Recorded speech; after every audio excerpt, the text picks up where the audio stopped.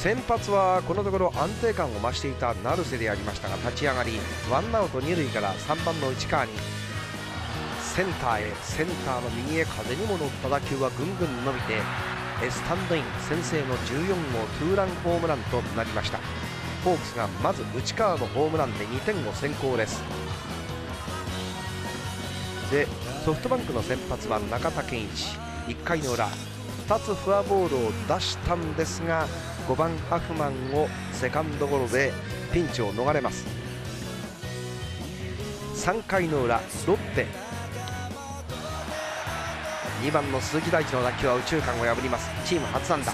そして加速をつけて三塁に向かいますがカットマン。セカンドの金子圭介が三塁にいいボールが当たってタッチアウト。でその後フォアボールでランナーを出すも4番の井口をボール球空振り三振。2対0でゲームが進んだ中盤の4回の表。ソフトバンクはワンアウト2塁1塁。今日スタメンの鶴岡。初球でした。甘く入った変化球右中間に転がっていきます。2人のランナーが生還。記録タイムリー三塁打。4対0さらにスクイズを敢行したんですが金子ケースが空振り。ランナーが3本間に挟まれてタッチアウト。スクイズは失敗で追加点なし。中盤の5回の裏。その後の成瀬。この打球。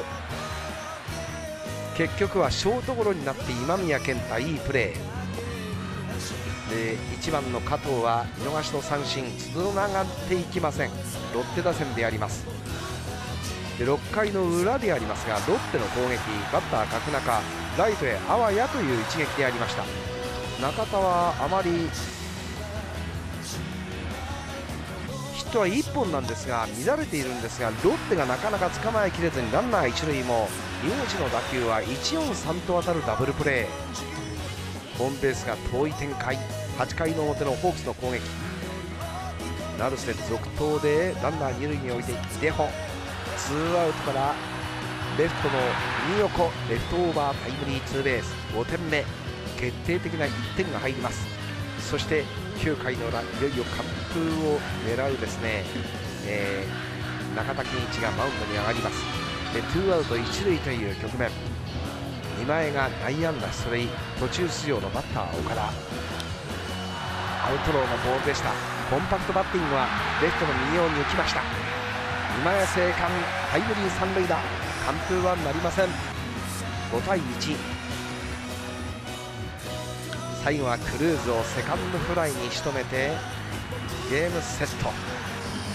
完封はならなかった中田健一投手でありますが移籍初完投勝利。